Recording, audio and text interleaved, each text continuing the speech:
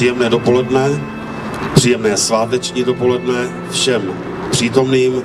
Dámy a pánové, dovolte mi, abych vás jménem vedení obce, troufám si říct jménem zastupitelstva obce Dobrá, přivítal dnes 8. května 2015 zde u památníku proto, abychom všichni zavzpomínali, respektive si poslechli vzpomínku, jak to tehdy u nás dobré bylo a samozřejmě uctili všechny občany, kteří v boji v těchto dnech, v tomto období před 70 lety, tedy v roce 1945, zahynuli. Já srdečně vítám mezi námi paní Jaroslavu Kapsovou, jednatelku Českého svazu bojovníků za svobodu. Dámy a pánové, sešli jsme se před listou prvního prezidenta svobodného státu a před pomíničky obětí světových válek. Napravo se jmení těch, kteří padli v boji před stolety za první světové války, nalevo těch, kteří nepřežili období nacistického teroru a v letech 1939 až 1945. Denně kolem nich přecházíme, aniž si plně uvědomujeme, že za jmény vysekanými do žuly stojí lidské bytosti, které ovšem dokonali svůj život násilnou smrtí vrahů. Z nich mnozí nedosáhli 30 let věku. Díváme se na jména těch, kteří chtěli přispět ke svobodě svých spoluobčanů, cítili se silní pro boj a byli zrazeni. Čteme jména těch, kteří pracovali pro vyšší cíle, byli umlčeni.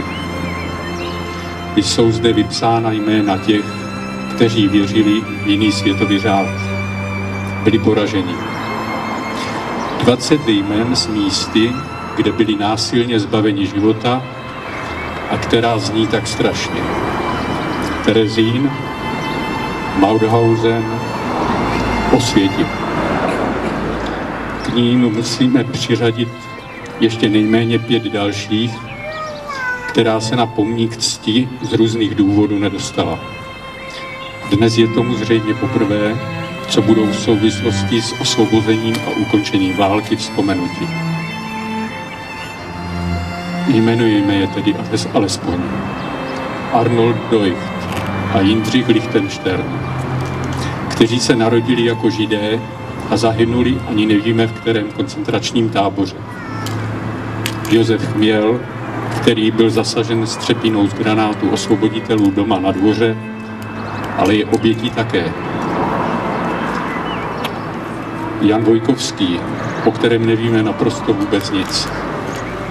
Nakonec Ludvík Piskoř, který byl nasazen na nucené práce, ale poněvadž se zachoval tak, aby zachránil svůj mladý život, bylo mu teprve 20 let, byl jako nepřítel Němci v daleké cizině oběšen. Nejvíce dojímá krátký životní osud mladých hrdinů. Jedním z nich byl 17-letý klempíčský učeň, který se odhodlal se svým kamarádem opustit protektorát a prchnout k bojovým jednotkám formujícím se v Sovětském svazu. Záhy pro překročení hranice se Slovenskem byli oba mladíci zatčeni a nejprve vyslýchání gestapem na Bílé, tak v Ostravě. Dneska bychom řekli mladická nerozvážnost. Snad byť vzhledem k jejich věku a k tomu, že neměli žádnou zbraň a nebyli napojeni na žádnou protistátní organizaci, byli propuštěni s výstrahou, jak se to stávalo jinde. Nestalo se tak, poněvadž gestapo nemělo v našem kraji výrazných úspěchů a potřebovalo si u nadřízených napravit renomé. Nezastal se obou mladíků ani konfident gestapa Laskovský, který bydlel v Dobré, a oba, téměř ještě chlapce a jejich rodiny, velmi dobře znal. Nepomohla ani snaha komisaře obce Valtra Majera. Mladší z nich, Sláva Boháč, putoval do Brna, pak do Dachau, Buchenwaldu, Oranienburgu, Grosrozen. Tam byl při práci v kamenolomu ubyt. Měl 19 let. Rodiče se po oznámení o smrti syna nervově zhroutili, otec záhy zemřel, matka vážně onemocněla. Hrozný příběh, jakých byly tisíce. K tomu přičteme útrapy příbuzných těchto zatčených a vězněných, z nichž mnozí byli živiteli rodin. Ty se ze dne na den ocitli zcela bez prostředků.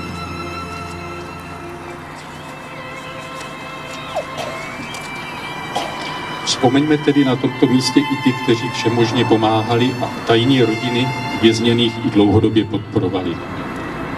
Máme svědectví o rizím člověku, učiteli Janu Tesarčíkovi, jenž v noci odnášel nutná ošacení, jídlo a peníze potřebným rodinám, někdy i do sousední obce. Sám přitom dával svůj život v sásku prozrazení by mělo pro něj i rodinu tragické následky. Na pomníčku před Sokolským hřištěm, kam se odebereme záhy, čteme tři jména Sokolů, kteří nepřežili nacistickou persekuci. Jaroslav Škola, František Chýlek, ten byl odvlečen do koncentračního tábora jen proto, že byl činný v Sokole a jeho bratr důstojníkem Československé armády. Bohuslav Skuplík měl 22 let, když byl zatčen. Po třech letech věznění se sice vrátil, ale během několika měsíců, kdy byl nasazen na těžkou práci v dole, na útrapy zemřel. Připomenuli jsme si jen několik málo jmen a přiznám se, že jsem vybral tragické osudy lidí mladých. Byl to záměr. Neboť jsem dnes doufal v účast i mladých lidí, kteří budou muset svobodu bránit a střežit stejně, neli více než my. Tak jako většina z nás přítomných zná příběhy obětí jen zprostředkovaně a dovede o nich vyprávět při významných výročích, jaké připadá třeba právě na dnešní den, tak přijde nová generace která ona onu pomyslnou štafetu se svědectvím pamětníku převezme a předá jako my další. Bude se to opakovat tak dlouho, dokud budeme žít ve svobodné zemi. Přednést zde tuto krátkou řeč je mi osobně velkou ctí. Děkuji.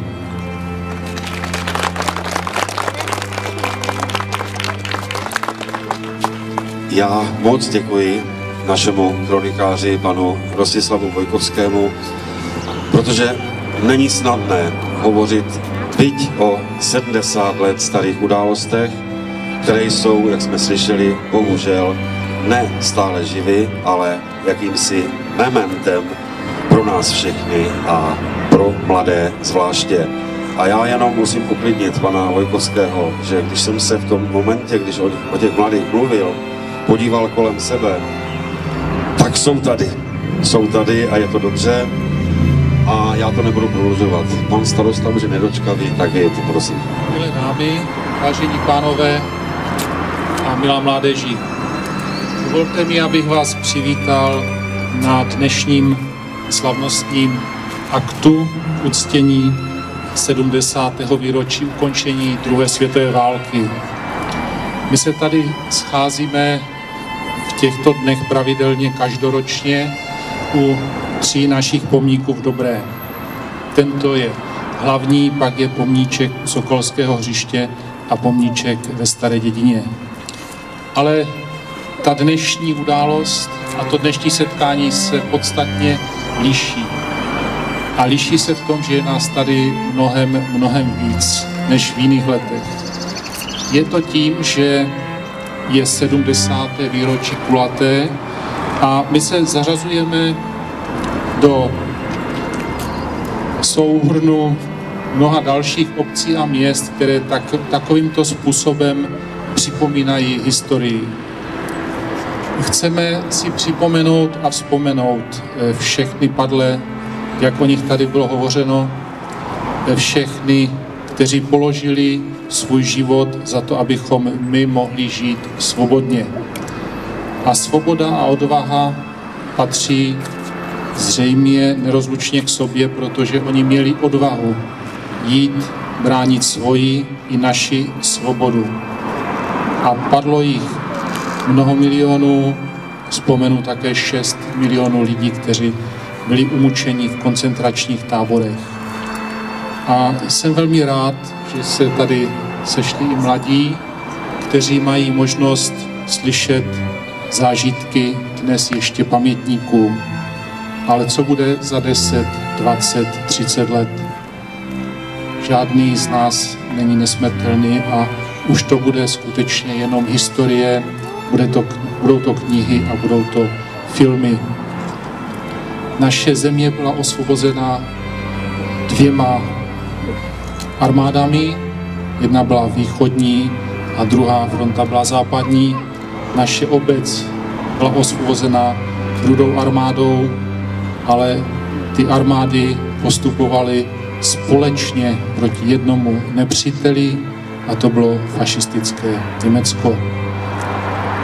My dnes tady můžeme stát, můžeme spolu rozmlouvat česky, českou řeči jenom proto, že mnoho milionů rudoarmíců a vojáků západní fronty, američanů, Rumunů, Poláků a jiných dalších národů, národností zemřelo právě pro tu naši svobodu.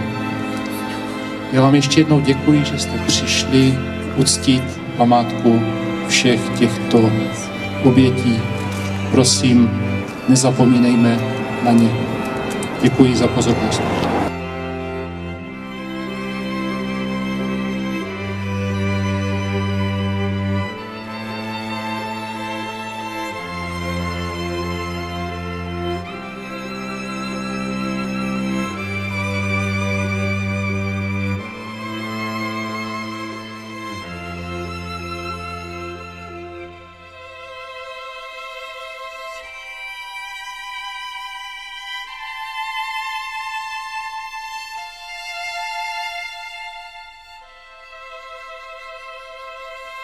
Dovolte mi, abych vám všem poděkoval za aktivní účast. Říkám schválně aktivní, neboť vezmeme-li si mnoha zde řečená slova a věty k srdci, tak budeme žít v míru a ve svobodě. Já vám moc děkuji, přeji zbytek dne, slavného dne, jen a jen příjemný. A kdo chce, tak se může samozřejmě odebrat i na tenisové kurty, kde oslava vlastně od 10 hodin běží. Tedy ještě jednou moc krát vám děkuji a při jiné, možná radostnější chvíli opět se všemi naviděnou. A skautům děkuji rovněž. Děkuji.